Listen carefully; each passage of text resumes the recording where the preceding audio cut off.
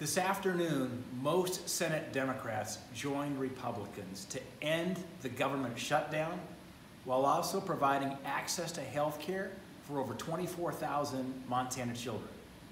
It was pointless to shut the government down.